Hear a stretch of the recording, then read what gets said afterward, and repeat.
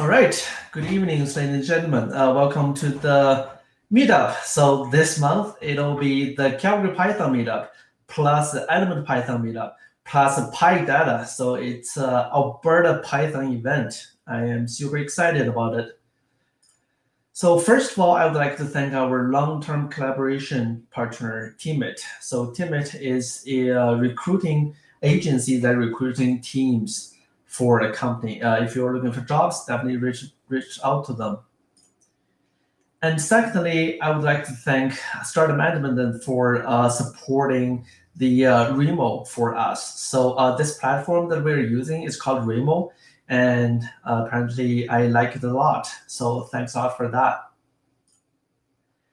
And I would also like to thank Viewpoint for uh, collaboration. So, uh, Ben, do you want to give some word for that? Uh, sure. I mean, so Viewpoint, it, Viewpoint Investment Partners sponsors PyData, um, providing you know money, resources, um, compute, re- compute hosting for some of our our stuff, and so just wanted to thank them for sponsoring PyData. Awesome. All right, so I have some jobs listings here, uh, and these links are all clickable, so uh, feel free to check them out. So there are some intermediate and senior uh, developers opportunity at TELUS and engineer manager and SE2 at DigitalOceans. And there are lots of positions at TechnoLogic. So uh, from front end to back end to DevOps to project managers. And there is also a software engineer position at Viewpoint. So today's talk would be one talk by uh, Peter Tunkis. Uh, Tunkis. Uh, it's revisiting sequence, sequence to sequence application beyond machine translation. And the upcoming event. So uh, the DjangoCon Europe is uh, June 2nd to 6th. Uh, it's online, and there are more events here in this link. Um, PyData is also a proud member of the YYC data community, and there are some upcoming events in this link here. So uh, definitely check it out. Some news here. So uh, Python 3.10 beta is released, and 3.9.5 is now available. Django also has the uh, bug fix and uh, security release for 3.2.7, uh, 3, 3.1, and 2.2.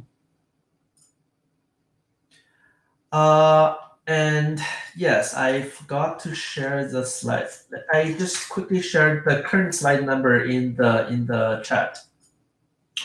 All right, uh, reading for the month. So the first article is uh, switch case statements are coming to Python. As you all know or may not know, uh, the switch case was decided not to be supported in 2006 and now the community decided to support it in 2000 uh, in 2021 python 3.10 and you know there was a reason that it why it was not supported. And apparently the reason becomes stronger that it gets supported. So uh, feel free to check out this article. And there's links to uh, PEP 634 and 3103 in the link. So uh, if you're interested feel free to check out the historical reasons the second article is uh, the art of writing loops in Python. So apparently, instead of just writing the for while loop in Python, you can use the built-in functions like the enumerate and product itertools and yield to make better loops. The third one is top 10 data science projects for beginners. Well, it's uh, not bad as a starting point. It's, it has projects from EDA to um, uh, feature engineering to like modeling. So uh, definitely check it out. It's uh, pretty fun. The last one is turn your Python script into a real program with Docker. So this is really good introduction for Dockerizing your Python script. And in fact, it's a really good starting point to uh, use Docker with your Python, and you can actually extend it to your Python program or you know web app or whatever. All right, as usual, here are the links for the COVID stats. And our next meetup is June 23rd. We're always looking for uh, presenters. And if you feel like you would like to give a presentation, definitely reach out to us So uh, our information is here, and there is a Slack channel for both the um, uh, Calgary Slack channel and definitely check them out. Uh, feel free to reach out to either uh, me or uh, Andrew or Daniel or Ben in the Slack channels. So um, yeah, that's it for me. I will pass it on to Peter. All right. Thanks so much. So, hi everyone. Thanks for coming to the talk. My name is Pete Tunkis, and uh, I am a data scientist with Arcurve Inc. here in Calgary. And today, let me see if I can get my thing to work here. Um, if it's going to work at all. All right. Does can you all see this? Carson or just want to make sure that it works before I take it away. Yeah. Uh, but it, yeah. Works. Okay, perfect. Awesome. All right. So yeah, the topic of uh, the topic of my talk today is going to be all about the sequence to sequence model, um, and try to get us to think a little bit about how this particular technique could be used beyond just uh, you know machine based translation of languages or things like simple chatbots, right? Um, as far as you know, I, I I'm not the I'm not like the expert of all experts, right? So um, it's you know I don't know that everyone that that uh, anyone really is. But with that said, right, um, the sequence to sequence model had only come across my radar fairly recently, and and you know any time that I'd heard about it in the past before recently was with respect to you know translating from English to German or to French or whatever. So or simple chatbots again. So it's it seemed like a good opportunity, you know, alongside this experiment that we had uh, started here to you know maybe talk about this a little bit more and get us to think about how you know sometimes old older models well older models can still have their uses in in a variety of cases despite you know whatever new technologies models techniques and that sort of thing transformers embedders have come out in the last couple of years. So without further ado i'll, I'll get started here. Um, quick agenda is uh, you know first i'll, I'll kind of go over you know what what brought this topic up um, at all, right? And why, of course, uh, sequence to sequence seemed like a logical uh, way to go as far as uh, our little experiment was concerned. Um, and after I talk about that, then I'll I'll give kind of a high level primer on uh, what sequence on what the sequence to sequence model is, how it works. Again, at a fairly general level, right? I'm going to try and stay away from too much technical jargony stuff, but you know, um, there's there's plenty of material out there on the internet uh, to get really into the weeds on that, and then f- kind of finish with a couple of caveats um, to keep in mind uh, whenever you want to try to use this particular technique, as well as uh, a little bit of brainstorming that I've started off in terms of potential use cases for the sec to sec model. Um, but of course, you know. Uh, along with anything that I say today, you know, I, I, absolutely encourage folks, if you're curious, to go out and, and take a look at some of the tutorials or Kaggle's, you know, uh, type articles, blogs, that kind of thing out there that exists for this, and you know, get the get get the old brain juices flowing. Um, excuse me. So a little bit of background, right? So like, why this topic, and and where did you know trying out sec to sec even come from? So some of you, or, or perhaps many of you, attended YYC DataCon this year, right? And if you did, perhaps you had a chance to see the presentation where Mike Morley and I, in our toques, presented a hobby horse project in which we are bringing together various pieces of geological and geographic data in a 3D spatial data model using Neo4j, Python, and, and a number of other different uh, bits and pieces, um, which of course begets potential opportunities for a variety of extensions and experiments that can be applied um, in this case, you know, for the substantive topic across energy, resources, mining projects, um, and and those project lifespans. And so, personally, as someone who has you know an applied background in social science and banking, you know, financial services, insurance, right, this presented an interesting challenge because I think it's fair to say that you know when I started this, I knew very little about energy and mining industries in terms of their nuances and that sort of thing. And probably fair to say that I still know very little, but maybe I know a little bit more than I did before, and just enough to follow along. But yeah, so one idea that had been floating around uh, though was something that I felt could that I could play with as far as applied approaches are concerned. Right. So before the data are even brought into the graph, they have to be collected, right? Not just in terms of the work in the field, but in general terms of digitization. Right. So for example, the work of collecting and cataloging cataloging geolog geological drill or borehole samples is a time consuming task right? So that means we have to get, you know, both junior and senior geologists involved, they're field engineers, that sort of thing. And, you know, this is the kind of work that goes into oftentimes um, mineral or geological exploration. But, you know, as I've learned, sometimes, you know, the drilling happens even past that point, right? So it can, it can be just to check on, you know, things like, you know, what's in the ground now that we've actually drilled something or, you know, help us make decisions about, you know, sustainability or even re- remediation. Um, and you know all of all of this whole data logging process right it's accomplished manually whether it's the collection so you know writing notes while looking through a microscope to cataloging right in terms of scanning the notes and holding on to the pdfs or dumping them in in in a data lake somewhere or whatever it is system that we have in front of us right? And so this proximately accomplishes the goal of collecting and aggregating data. Um, but you know old data often have a funny way of coming back and surprising us with all kinds of new uses that you know we wish we would have known about once upon a time right? And it's hard to work with something that's still you know pen and paper when we need the data now. So you know this doesn't really touch in too much about like the the efficacy of digitizing your data but you know eventually at some point it's you know if, if it's not important now it's going to be important later. So might as well get it you know nip that in the bud when we can um, in any case, though, right? So this kind of spurned this idea of moving towards a proof of concept, right? Because people in the field will find this to be a familiar issue in terms of how long it takes to enter these data and like what goes into this whole process. And you know, while we're not advocating for replacing um, or you know exchanging you know the kind of field expertise that's required for this kind of task with you know AI, um, you know, we can at least help out you know if you're filling out a digital form to log borehole drill samples. You know like what if there was something like um, something you know that could pre-populate stratigraphic layers with hints or suggestions right?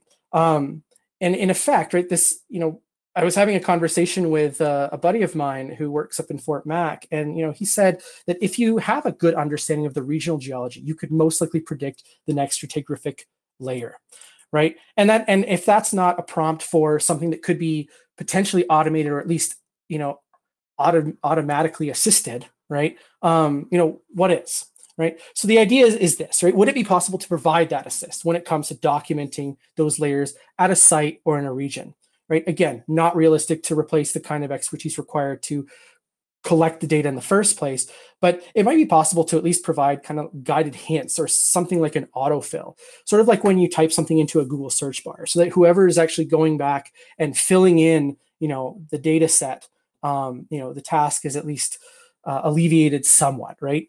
You know again it's worth a try. See if and just in terms of you know seeing if it works. It's the beauty of experiments. They're low cost low pressure. See what happens. If it works great. If it doesn't it doesn't and so one thing I learned early on was that these borehole samples are kind of like sentences. There is an implied pattern or an order to each layer, i.e., a sequence, right? And so naturally, the first thing I did was look up sequence prediction on lithology sentences, stratigraphic layers, borehole samples, that sort of thing. I didn't really find anything that quite hit the nail on the head as far as uh, my point of view was concerned, right? There weren't any real slam dunks. And indeed, stepping away from the geology or the mining context, uh, energy, energy context, that sort of thing, we know that boosted tree models can be used uh, or applied to classify sequences, sort of like a many to one type problem. Um, but again, this didn't really seem satisfactory, especially not for an experiment, right? So, you know, I if it's an experiment, I might as well try something new and different and and uh, zany or whatever, right? Um, but a- again, it didn't quite fit the bill. So, you know, I then thought about, you know, in conversations with uh, with you know the the bigger of the YYC Datacon project. So talking with Mike Morley, you know, why not treat the lithology sentences as just that, right? Sentences, right? He had he, you know, Mike had kind of prompted the idea by thinking like, oh, well, maybe we could apply NLP uh, or an NLP technique to this particular situation, since I mean, technically the lithography uh, layers themselves are tokens, right? I mean, we could replace we could replace those tokens with whatever um, label we want, whether it's numerical or character or whatever. But nonetheless, there's an implied order, right? Shale and bedrock are usually at the end, topsoil usually at the beginning, till, sand, clay, whatever is in between, in sometimes consistent patterns, typically across geographic areas. Um, and so if we're looking for an autofiller, indeed, what if we applied an order sensitive sequence predictor like the ones used for translators or simple chatbots, right? Thinking about things in terms of question to answer or language one to language two. Um, and so this is where the sec to sec model finally comes in, right? So again, you know, I'd heard about this method's use, as I'd mentioned before, right, for language to language translation and chatbots, but never really had considered it outside of those contexts. And honestly, I never really needed to, right? Nothing really prompted the thought in my mind. And fundamentally, right, this is a model that consists of two recurrent neural networks to encode a set of human readable inputs as machine readable vectors, right? Predict a set of output vectors, decode them accordingly into a set of human readable outputs, right? So it's a multi-layered neural network model. Um, and you know, this frees us from having to strictly adhere to sequence length and order of an of a given input, while still constraining prediction by acknowledging that some items in the sequence only appear in some conditioned order. Again, we shouldn't expect topsoil to appear after bedrock. Um, silly example, but nonetheless, kind of keeping to the theme of you know, let's see if it works. Um, and so, indeed, you know, the benefit of multi-layered approaches featuring two uh, RNNs is this essentially, right? If we know about the first two or three items in a given sequence, we can't guarantee that there will be exactly three or more items remaining in that sequence, right? Like there might only be five layers in a given drill sample. And if we already know the first, if we've already entered the first three, then the last two, right, is not last three, right? And then unlike a single RNN layer, right, where every input corresponds to an output. Sec to sec takes into consideration not only the order of the input sequence, but the meaning of that input sequence into a single vector, which you know we'll refer to, which we refer to as a context vector, and outputs a corresponding predicted set of items in an appropriate sequence based on you know that interpreted meaning of the input sequence, right? And I'm sure, right, that there are other multi-layered neural network models or whatever else that might be worth trying. And you know there might be even better ones that have come out more recently. But again in the in the spirit of applied ex- exploration and experimentation right the sequence and effective temporality of those stratigraphic layers is important right? And thus the choice for sequence to sequence and how it's built kind of makes sense right? And so indeed surely we can just use sec to sec for something other than just language to language translation or chatbots, right? Um, and so thinking about that, um, you know, today I, I want to instead of going necessarily through the results of the experiment that we covered at YYC DataCon, um, do want to say it's it's a work in progress and appreciate the feedback. Gave a, a couple of screenshots from that original uh, presentation that we uh, whisked whisked uh, those of you who were there uh, through. Um, but right, the initial the initial results were were less than stellar. Right, ended up being a perfect till predictor. Every layer was till forever. Um, and you know, clearly, you know, there were issues with uh, with uh, the training and evaluation, that sort of thing. Um, I can get into a little bit of why that was the case later. It'll kind of be part of the caveats, and you know, as we kind of go through the mechanics um, it'll make more it'll make more sense why things turned out as poorly as they might have in the first place. Um, and there are some improvements that have been made recently, but um, just given new data and stuff like that. But nonetheless, um, it is a work in progress. So big hedging on my part, I guess. Um, but in this case, right, I would like to spend some talk, some time talking about the approach as sort of a primer for those of you who haven't heard of sec to sec before, or or a refresher for those of you who have and might not have thought about alternative uses other than translators or chatbots. Um, and indeed, you know, again, part of this is just because as I've learned about sec to sec more intimately, I found it pretty interesting in terms of how it works, at least conceptually, and you know, based on um, what I learned not just about the model, but also about the platform. Because um, indeed, as I had mentioned, right, I'd never really need to use sec to sec, and other than some articles or blogs from a number of years ago, I never really saw the model come up much. Um, and so, you know, um, I figure at the same time as you know, so maybe there's a reason for that, but sometimes just because a model or technique is old doesn't mean it's useless. So uh, other other bits and pieces, for what it's worth, I'm all the work that I did and and what I'm learning and you know the way that I learned about this was through using PyTorch. Um, now, for for the record, I'm rather agnostic regarding any debates on the merits of PyTorch versus TensorFlow. Um, I the former seemed like it had more custom customizability at first blush based on like tutorials and stuff that I found, and and it did come suggested by a couple of friends when I was talking about my ideas. Um, again, I'm sure they're both great or terrible for their own reasons, but fundamentally, I don't think that that should impact the point of uh, our line of thinking today, right? So again, I encourage anyone curious to check out the various tutorials you can find out out there um, that use either platform and honestly come to your own conclusions, right? That's part of the fun of of the work that we do is the research and exploration, not just uh, the 90% of our time spent munging data and that sort of thing. Um, but again, yeah, the first crack wasn't super te- super successful, but technically it worked. So um, plotting onwards, right? So let's go to a quick primer then, uh, just to cover an overview of uh, of what sec to sec is, and uh, broadly speaking, right, it's also referred to as an encoder decoder network. You'll probably find it more frequently labeled as such in some of the early academic and uh, arXiv papers out there.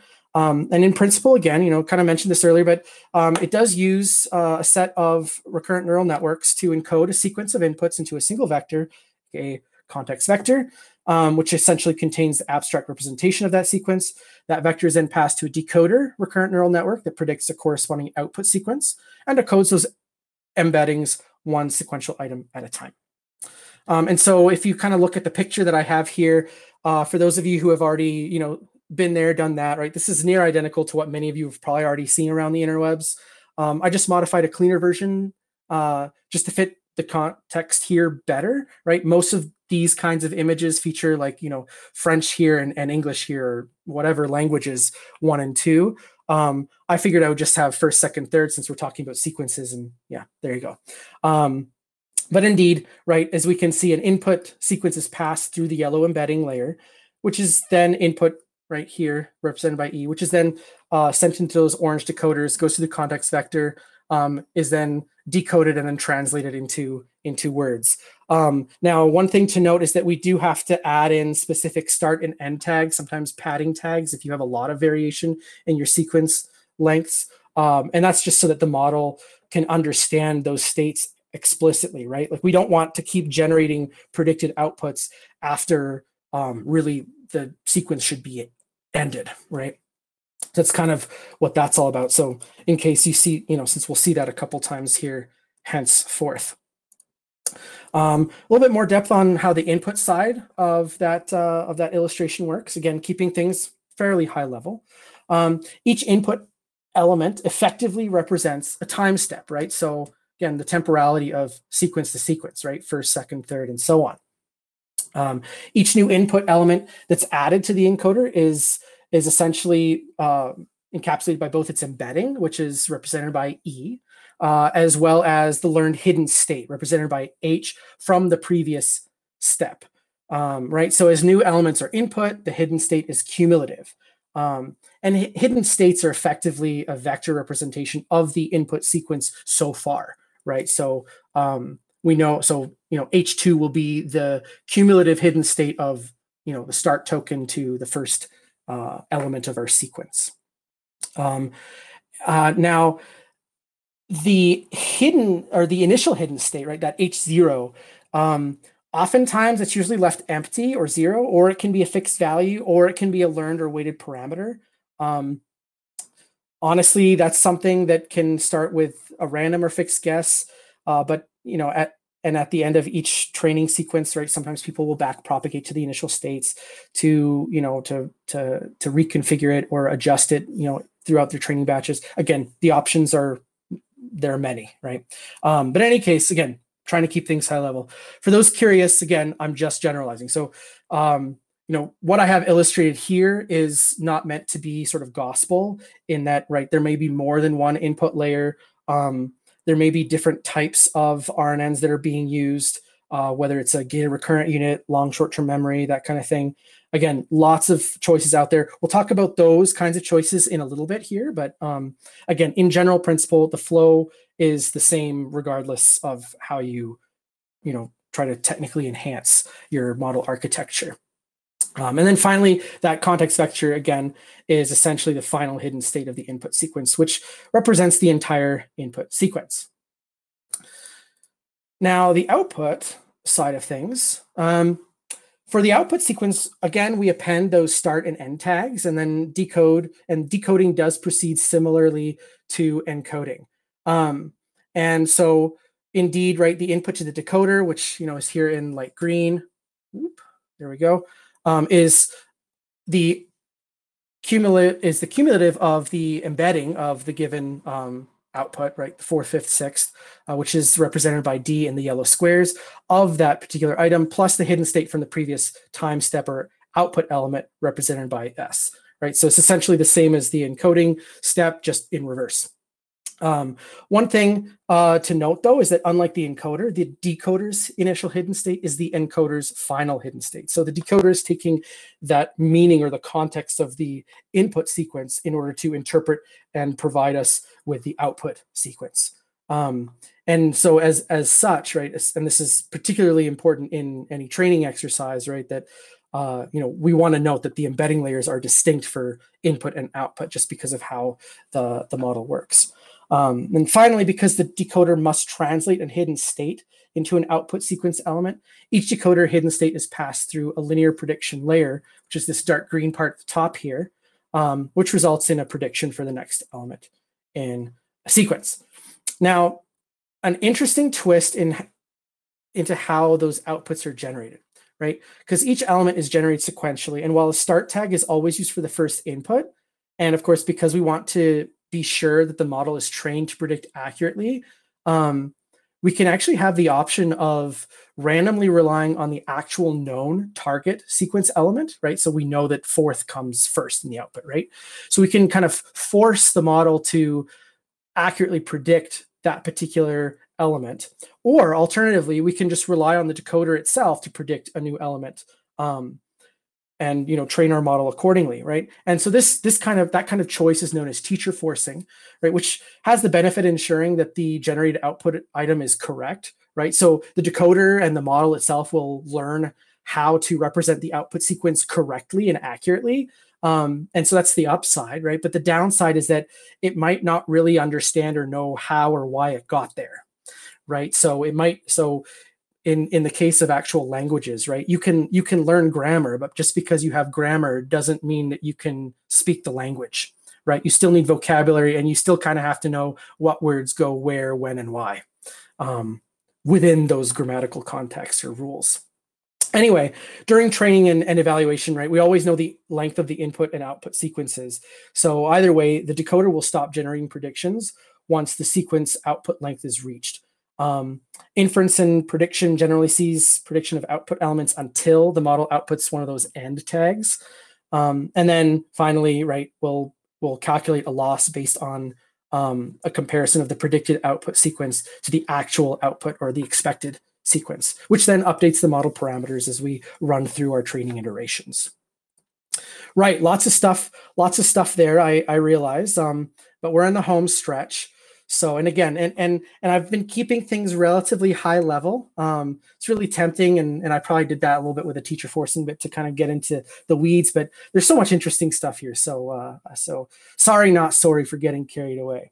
But with that said, right, we we do indeed have plenty of options. Um, and I don't know the extent to which the sort of custom customizability exists between PyTorch for sec, sec versus uh, TensorFlow. I can't imagine that it's very different uh, one way or the other. Both seem to to do um, a good bit of sanit- sanitization of the stuff under the hood, but um, certainly uh, PyTorch and again TensorFlow, I'm sure is the same thing. Still do give you a little bit of wiggle hands-on wiggle room to figure those kinds of things out. Um, and so I'll list a few of these um, hyperparameters and kind of process choices, which you know we could argue are hyperparameters as well, right? Uh, if you want to uh, train or test, you know, whether your model is better using one process versus the other.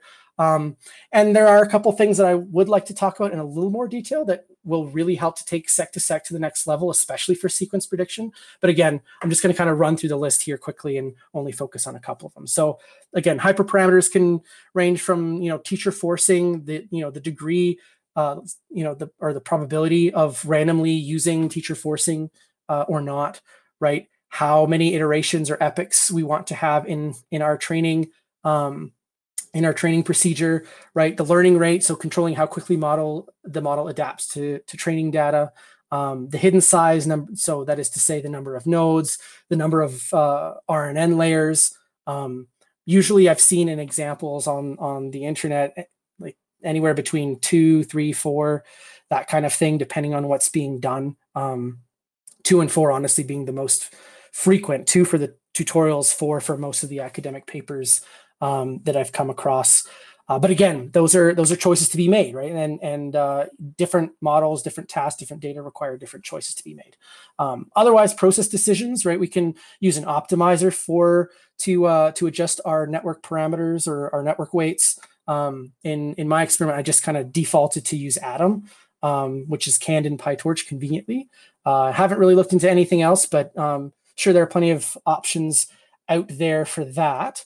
Um, you can choose to use a gated recurrent unit or use long short-term memory for your recurrent neural networks. I'll talk about this in a little bit more detail here in a second. Um, and or you can apply an attention strategy for decoders, especially you know if if you want to make sure that uh, in training in, in training your model that uh, the model pays attention to specific nuances in what is occurring across your variants your various uh, sample sequences for training. And so, just to kind of quickly talk about um, quickly talk about GRUs and LSTMs, right?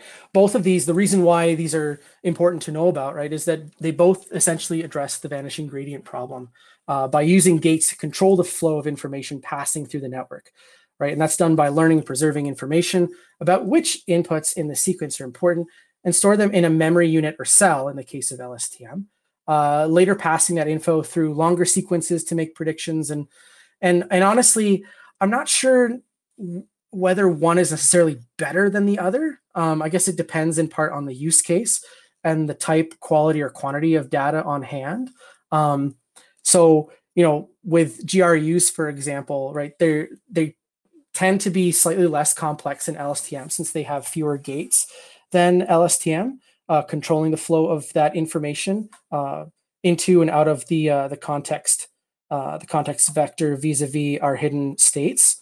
Um, right, it's pretty good for shorter sequences, better and certainly better if you if you happen to have less training data. Which in my case with the borehole logging thing, um, these were kind of the main uh, drivers for my choice uh, to apply a GRU rather than than an LSTM in the end.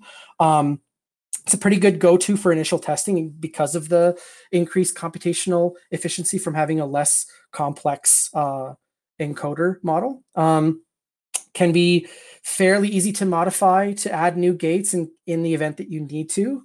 Um, and uh, really, it's it's a little bit more simplistic in that the hidden content, right, for the hidden states, is exposed in the GRU decoder uh, as well, not just um, it's not just sort of hidden in a black box memory unit and then referred to on and off.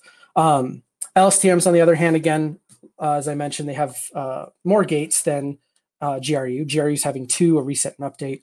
LSTMs have input, output, and a forget gate. Um, and so in and so because of its increased complexity right one of the benefits is that you know when you have much longer context rich sequences um, lstms can actually perform more accurately uh, than grus and um, they can require more training data as a result given the length of those uh, sequences uh, than grus to see noticeable improvement in accuracy versus grus um, but again if you have a lot more data then you know it's it's worth getting the the extra few percent inaccuracy um, if it's needed right? Um, and so you know indeed you know i, I kind of Im, uh, implied this right? But you know more complex architecture often uh, can correspond with more computational uh, expense. Um, not always but some but usually right?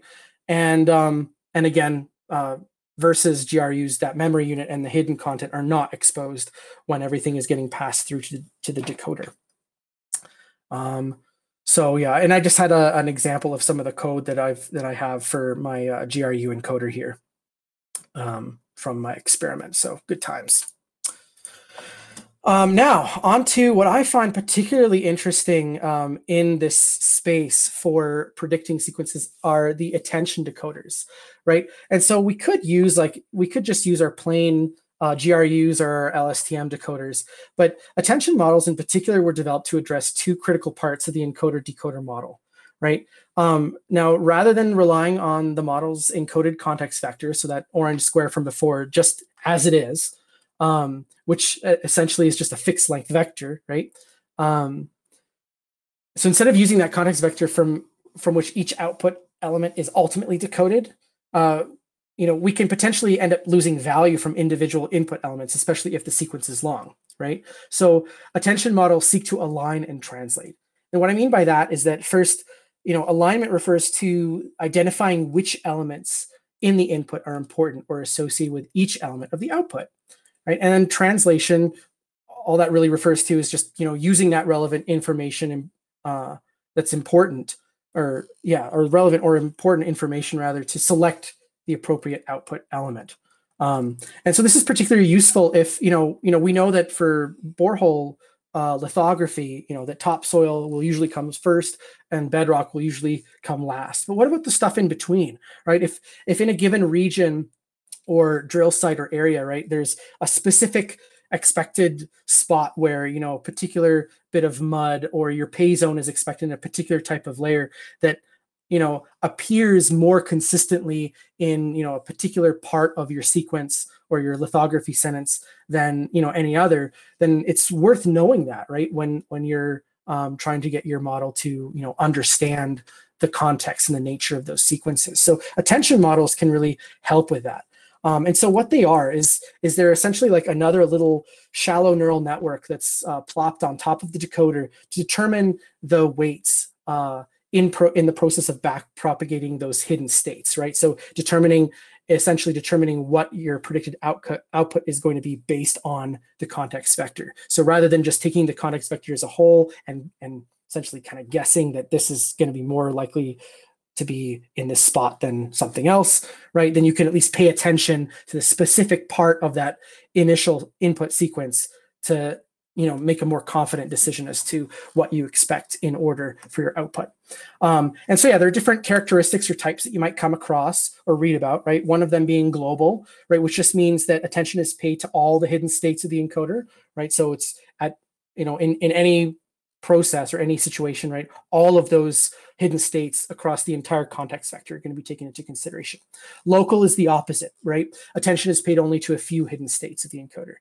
Uh, hard attention is a type of local approach typically that selects one hidden state at a time explicitly rather than kind of like looking at two or three out of a set of however many.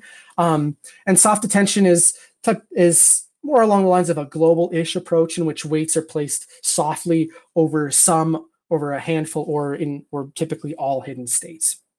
And again there's a lot of reading about this across the board but hopefully sort of get you primed to to know what to look for to think about um, as you as you look into this a bit deeper. Um, but indeed again in a nutshell right instead of relying on a single general context vector as a whole attention models develop a dynamic context vector in that it is specifically filtered for each individual output element to be predicted. And so which one to use, right? Big difference is honestly how the context vector is derived, right? The sort of the granddaddy, the originator, the first one that, uh, the earliest one that I can kind of see, uh, it's most frequently um, cited as sort of like a seminal attention model is the one developed by Bahdanau et al. Right. And that's the one that and, and it uses concaten, a concatenation of forward and backward source hidden states in, in a bidirectional encoder uh, and target hidden states in a unidirectional decoder, I believe, if I have that right.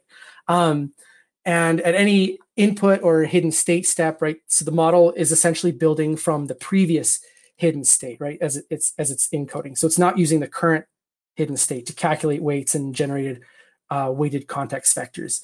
Um, and so there's an additional step or an additional layer that happens there before um, translation into a prediction occurs, right? And so, you know, some have argued that this tends to be somewhat computationally expensive compared to other methods out there. Um, and uh, just reading the paper, right, it looks like only one alignment function was tested in the development of the attention model, but it, it at least does set a benchmark.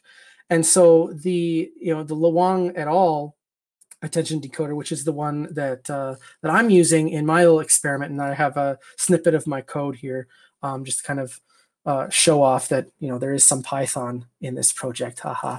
Um, right. So Luong et al. Right, they use they use hidden states at the top layer in both encoder and decoder. So there's so there aren't there aren't these added mini layers that are that are present in the decoder models, right? Um, it tends to use the current hidden state rather than the previous hidden state directly to update local weights, and thus it generates a weighted context vector to align with those target hidden states. Um, it's slightly less computationally expensive because of those fewer la- because of the fewer layers than the Bahdanau et al. approach. Um, and in their paper, they uh, they use multiple alignment functions just to test and to find out uh, and ultimately right select the optimal approach for their model. Um, and I do have citations for all this stuff that I'm referring to and kind of the basis of all my blah blah at the end of the presentation. So hopefully, if the slides are shared or maybe there'll be you know some way to to disseminate that for anyone who's curious uh, but again um, there's lots of material out there and it's i don't know the more the more you dig into it the interest the more interesting it, it gets um, anyway just to wrap up though so that's basically seq to seq in a nutshell. And so um, i'd like to quickly run through a couple of challenges to keep in mind um, if you're curious to test this model out. Um, making a quick pit stop here right?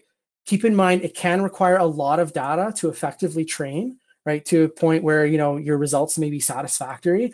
Um, and that's especially the case if you don't have the luxury of pre-trained vectors right? So so fair warning when you go out into the interwebs to look up examples and tutorials. Um, a lot of them in, do indeed use um, uh, you know language to language translation examples right? And so oftentimes you'll see that they tend to use spaCy models uh, that feature pre-trained vectors um, and all that sort of thing for the given language, like English, German, French, Spanish, sort of the typical example languages out there. And there are more language models emerging all the time, right? Um, and you know, but of course, this can be especially challenging when the sequence data are sparse or full of rare elements, or they're a non-traditional type of data. Um, depending on the data themselves, so the length of sequences and the complexity of your model architecture, right? This can also be potentially computationally expensive too. So just keep that in mind as well, and kind of think about when you're tinkering and and uh, and tuning your hyperparameters and that sort of thing. Keep that in mind.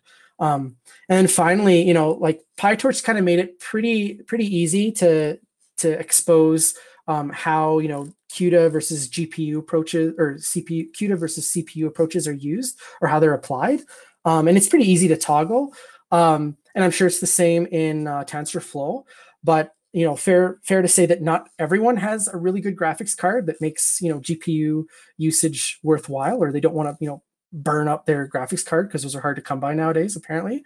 Um, and uh, right, not everyone has access to you know cloud computing or supercomputing, right? So again, keep just keep that sort keep that stuff in mind. But you know, whatever, we're still interested in trying it out. So you know, just a reminder here that, you know, RNNs can be used in a variety of contexts, right? Do you have temporality in your data, right? Do the lengths of your inputs or your sequences vary from one input to the next, right? Um, does contextual information in the sequences in your inputs matter, right? Um, are are the values orderable, right? Um, but not necessarily continuous, right? So they're discrete ordered values. Uh, can the values be logically analyzed in discrete steps, right? If that's the case, RNNs might be a way to go. Um, and you know, RNNs can be used uh, in those contexts where one or more of the above conditions, again, are important um, in a variety of ways, right? We can think of this as a many to one, such as you know a single output item or classification after a sequential input, right? So stuff like sentiment analysis or classification. You can have many to many tasks where each output label is associated with a segment of the input. Um, not strictly dependent on correspondence between input and output uh, labels, right? So this is oftentimes seen in like speech to text images, com- some computer type image image problems, so images to text, vice versa, that kind of thing. And then finally, generative tasks, right, which is really where the language to language translation and chatbots come in, right? And when we when we talk about generative tasks, we're we're referring to output uh, outputs that are sequences generated from input sequences, taking the entire input sequence into account. And really, this can apply to any uh, multi-element sequence to sequence task, um, whatever those elements are made up of. So, so that was a lot of information to take in. Um, but uh, hopefully, I've I've gotten at least some of you to start thinking about uh, you know uh, what sec what the seq to seq model is. Maybe you can use it in your um, in in any of your projects. Like if if you happen to have a, a use case that maybe fits the bill with some of our uh, with some of these uh, contexts. There's a lot of information, as I've said a couple times tonight, um, out there on the internet that you can research, read about. Lots of tutorials, lots of examples. Um, some great ones, some not as great. But again, I encourage uh, all of you to go out there, take a look, see what, see if it makes sense if you're interested, and and yeah, um, happy to take any questions or you know talk about things that sort of thing. So y'all can connect with me as as such if we don't have time today to go through Q and A. But yeah, um, and then yeah, at the end of the slide, I just you know I, I do have a bunch of um, bunch of readings here uh, that I refer to while putting this together. So hopefully, if this gets uh, spread around, then um, then y'all can check out some of these. But these are pretty frequently cited anyway. So uh, even if you don't have this particular slide on hand, I'm sure you'll find these readings one way or the other. So thanks, guys.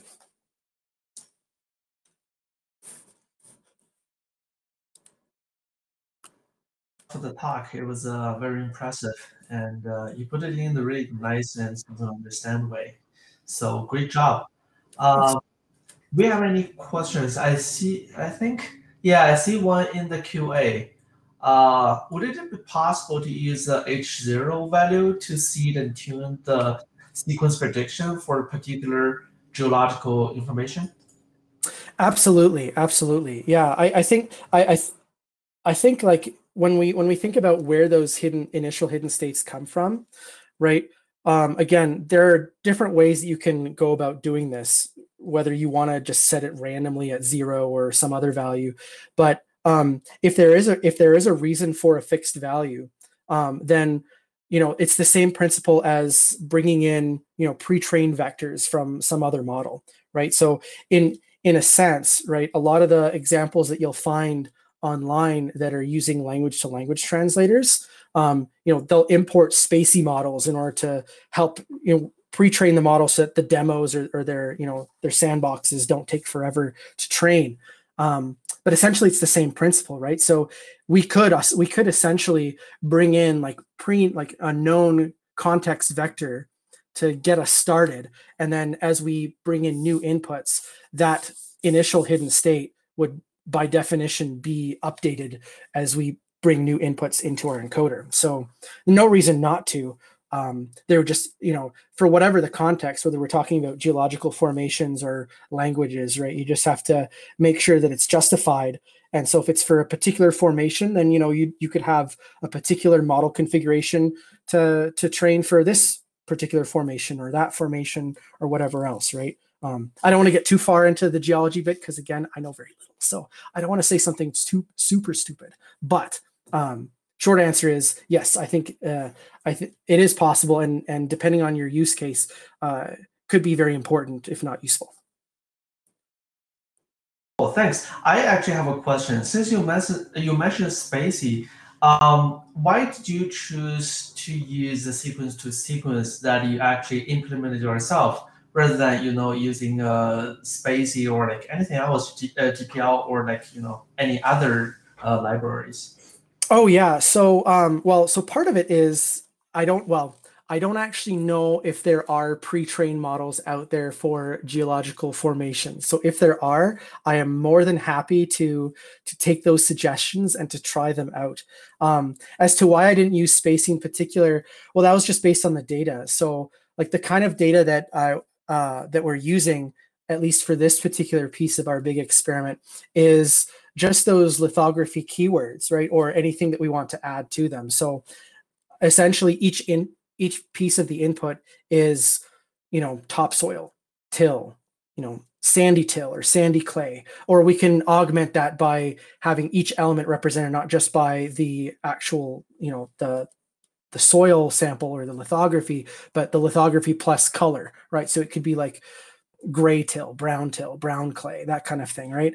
And so as as as tokens in and of themselves, right? They didn't really strike me as compatible with spaCy since you know just thinking about like for example with uh, named entity recognition like what exactly would like how exactly would space would the spaCy model relate um, like a parsed and tokenized sentence you know from you know a normal language into a lithography sentence um, if and and i guess i also don't really understand enough about stratigraphy to know if there's like an actual grammar to stratigraphy so um, that's on me in a way but that that's kind of my justification i guess Absolutely, that makes a lot of sense.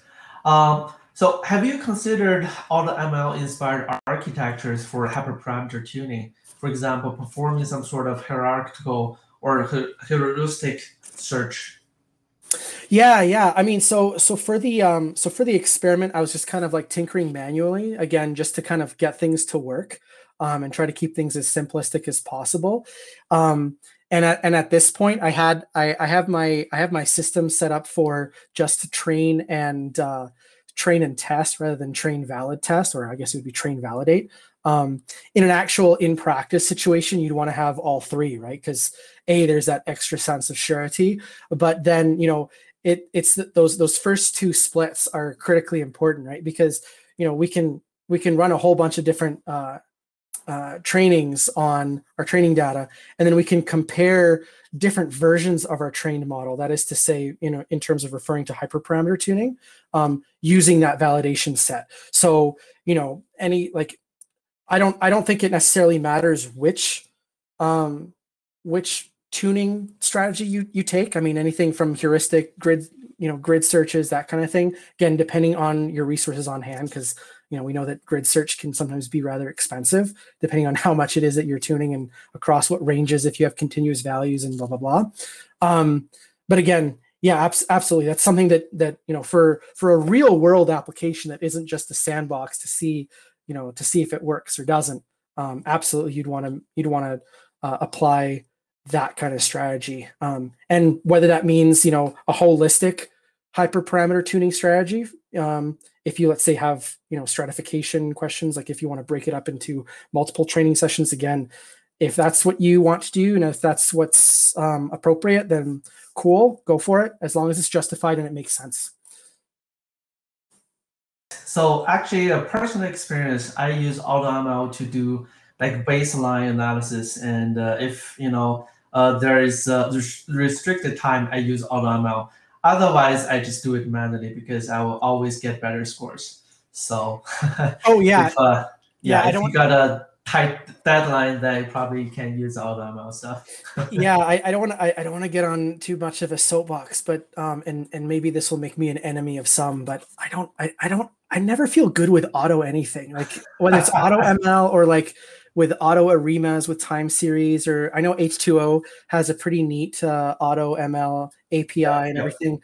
But like, how do you know? You know, like how do I, I don't know. I and and I know that it it does work. It does work, right? But what if it doesn't work? I, I don't know. I, am paranoid. Absolutely. So, um, how did you encode the lithography, uh, lithographic uh, layers?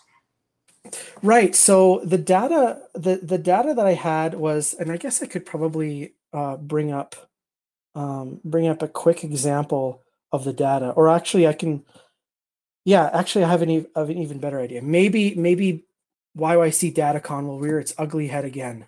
Let's see. Well, it wasn't that ugly. I shouldn't I shouldn't be too glib.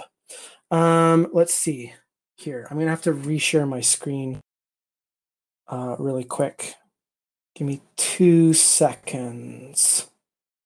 Uh, is this it? Um, that is not it. Hang on. One moment. Uh, where are you? Sorry about this. Anyway, what I did is um, I, I took. Okay, there we go. This should. This should work. All right. Open this up data prep. All right, and this is of course zoomed in to like a thousand percent. So let's get it down. All right, so the data that we had came in as such, right? So we just kind of had um, each individual row was um, a particular lithographic layer, and so we had information about the PRI material was sort of the lithography keyword. So till, silt, sand, till, shale for this particular borehole. Um, information about color, and there was you know full text that we could draw from if we wanted additional information. Um, but for that initial test, right, again, keeping things super simple just to see if if my code was going to work, um, which was honestly like the big goal at the first stage, uh, was just to bring in those initial keywords. Um, so the the till, silt, sand, and that kind of vocabulary.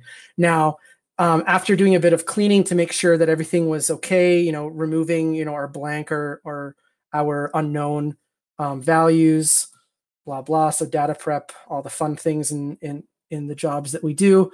Um, ultimately, right, the first step was to transform the data frame from long to wide, right? So long form being, you know, each individual uh, record was that uh, material layer. And so just basically write those sentences, right? So the first sentence for the first borehole was till, silt, sand, till, shale, then till, sand, sandy clay, and shale, and so on.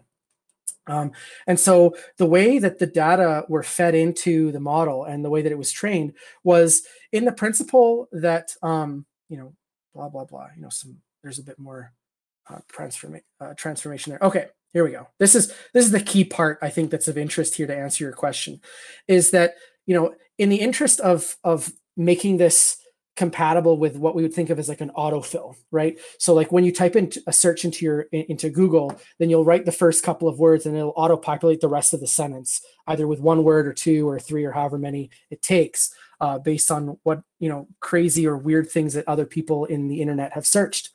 And in this case, right, it's the same kind of principle where we know that this is our sequence, right? And um, essentially, right, we want the the model to know that well, if we input till, then it should be able to predict the next four layers, or if we have the first two, we'll be able to predict the next three, right? So it's very similar also to the kind of uh, to the kind of approach where you know you want to see if like you type the first letter of a word, can your can your neural network per, uh, can it like sequentially predict what the next letter in in the word is going to be and you know go that way rather than predicting individual tokens on and on. So you know as inputs and outputs were fed into the encoders right the inputs were fed into one set to one layer of encoders and the outputs were fed into a separate uh, layer of encoders all the while keeping um, each input output pair together. Um, so so that the model would be able to predict as such. I don't know if that think that answers the question as far as like how that was set up for the lithography layers. Yeah, just as, as my question, popping popping back in here, hijacking the camera.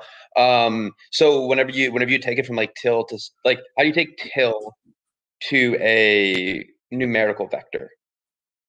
So that's so that's accomplished in the embedding layer, right? And so, you just use one hot encoding, or do you have some type of vector representation vector representation.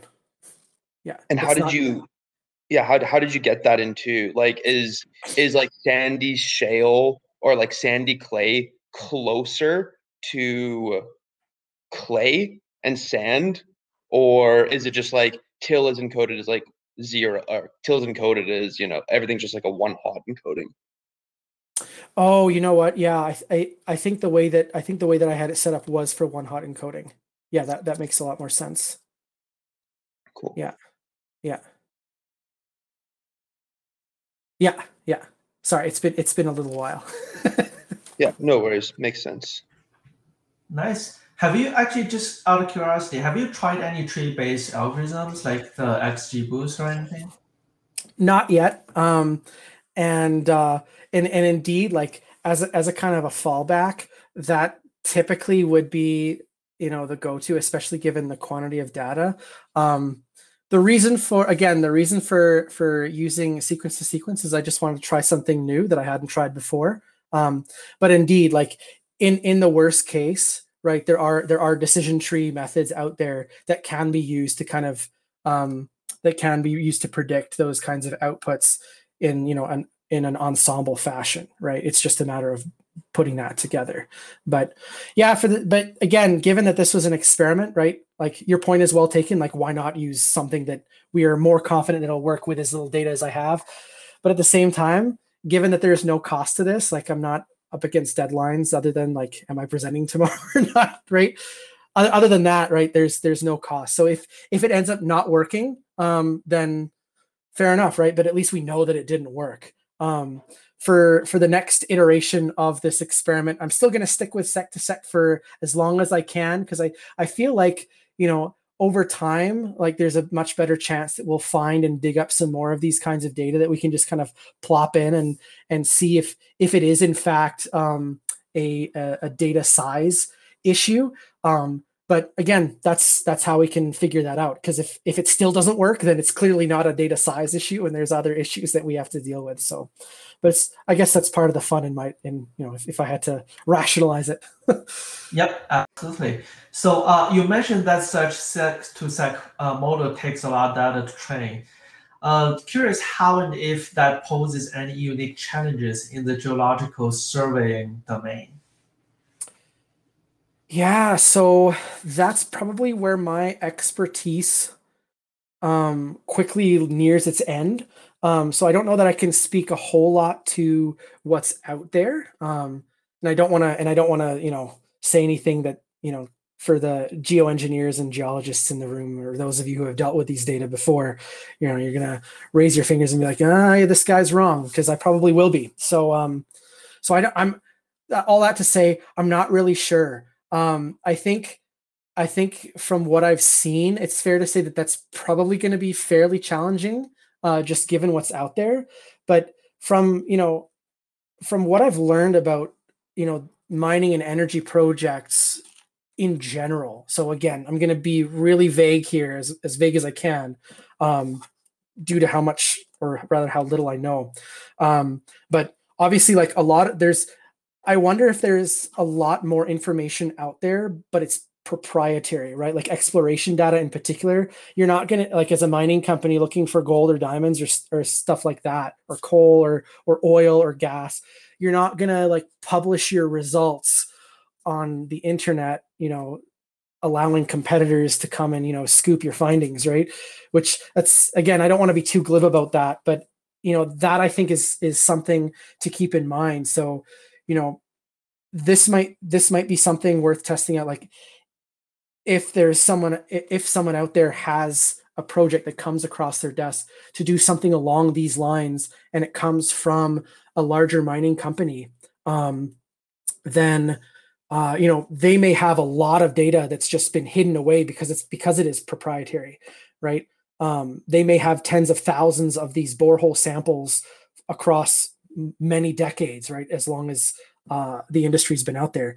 And, you know, seeing, you know, I, I can see, you know, uh, Mike there coming to my rescue as well, right? Even the stuff that's out there publicly is also trapped in uh, PDF jail, right? Not just in terms of like OC, like the OCR readable stuff is at least nice because then you can like plop it through Amazon or whatever platform you have to convert your PDFs into tables, or you can write something yourself but if it's handwritten, then you know I guess you could try to train an, an, an image recognizer to try to OCR um, handwriting. But you know if if the particular person who is logging the borehole has you know the same kind of handwriting as your general practitioner, good luck. Exactly. That's uh, definitely a lot of overhead for sure. Yeah. So then, where can we find the sources of the geolo- uh, geographical data for training the model? Um, so one area that I would that I would recommend, and again, um, so keep your eyes on the chat. I Mike, I encourage you to uh to to share some some ideas there. Um, he's been he's been kind of the font of data uh, for me because he has a better idea of where to look. But um, there is a really neat source out there. Uh, it's called wellwiki.org, um, and it has a lot of information about um, about uh, drilling and wells. Uh, and kind of you know geographical data related to drilling and that sort of thing um, across uh, Alberta. So you know there's stuff that's associated with the Alberta energy regulators. You know you can find stuff for BC there. You can find stuff for you know all you know virtually all the states in the U.S. that have any of these projects. I don't know how much they have globally, but I'm sure there's stuff there too. Um, so right on there it is. Uh, yeah, Jay Jay grabbed that um, for us.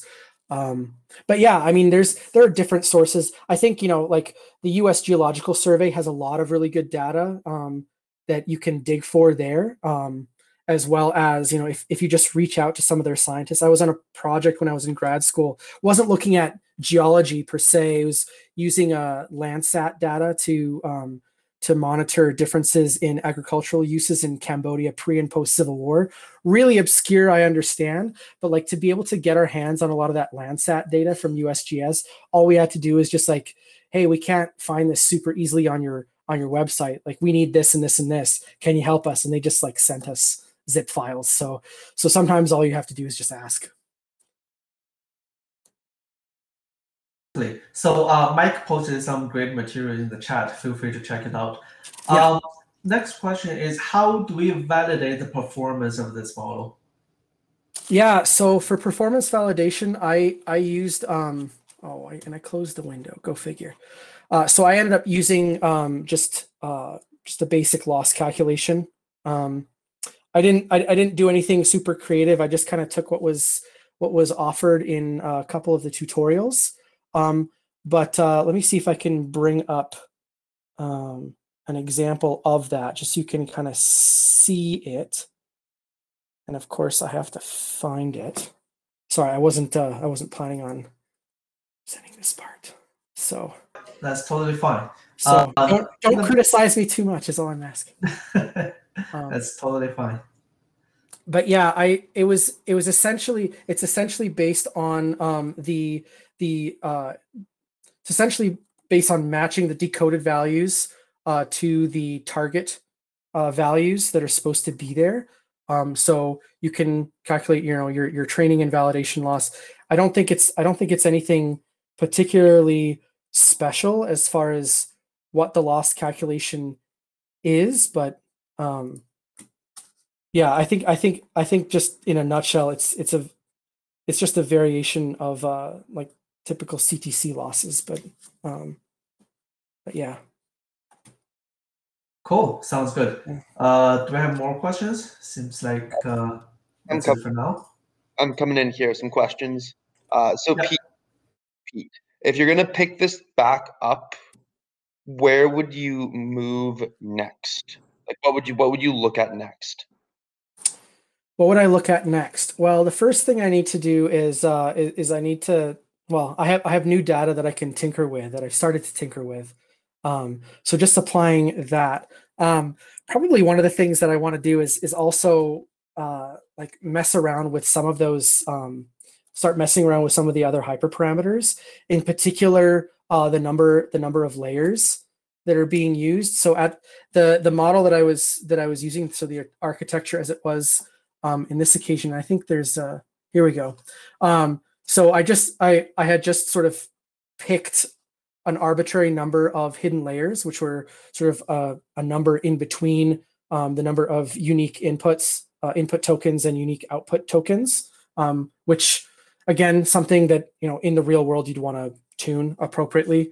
Um, but just as a, I don't know that there are any real rule, rules of thumb for that, but yeah, a lot of everything was arbitrary. Probably go to four layers because um, it it it seems that in, in most of the in most of the literature out there that covers this topic, most people are using two and two uh, input encoding layers versus two output enco- decoding layers. So you know perhaps I ought to use four layers rather than just two. Um, that's something worth worth trying out. Um, and yeah also like besides just trying out the new data also just like manipulating the data in and of themselves because one of the big problems that i ran into in the first the first try was that um the the data were just saturated with till which surprise surprise there's a lot of till in alberta um right but at the same time though like there is variation within those till layers as well so things like appending color or taking into account other uh, elements of uh, those particular layers is is uh, something worth trying.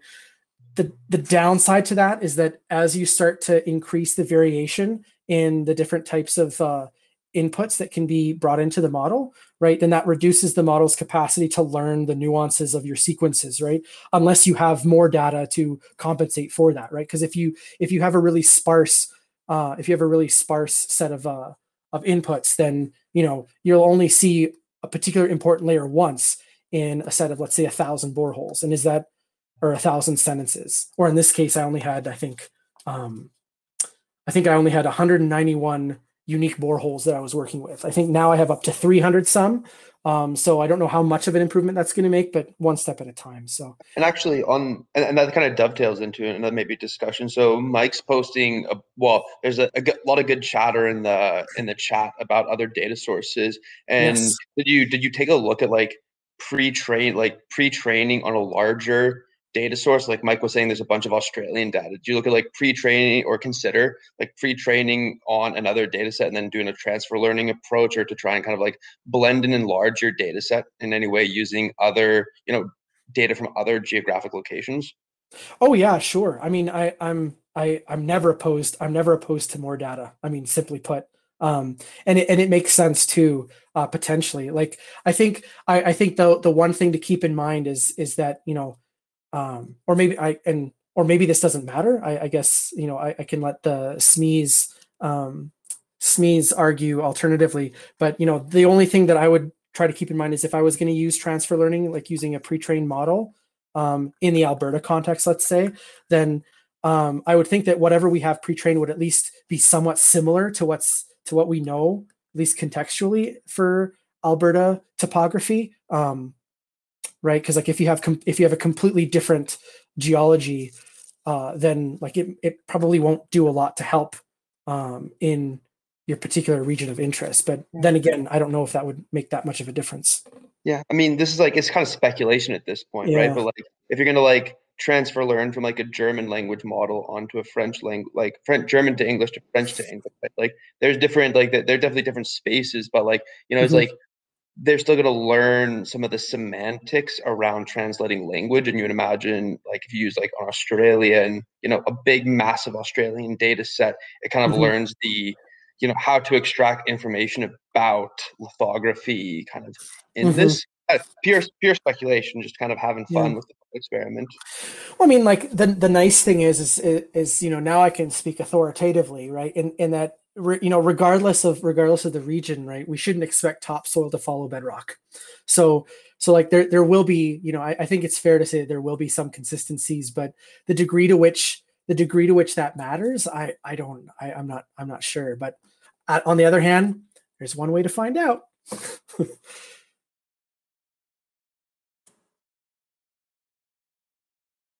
Cool beans. So uh ben do you have more questions or